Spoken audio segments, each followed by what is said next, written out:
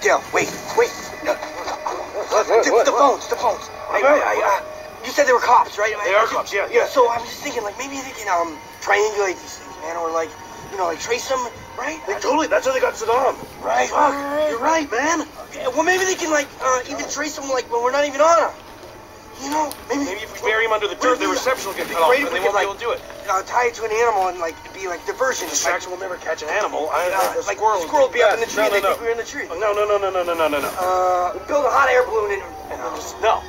We'll smash him. yeah, yeah. I'm gonna smash it. On a rock. Okay, good idea. Right here. Good Yes. idea. Good thinking.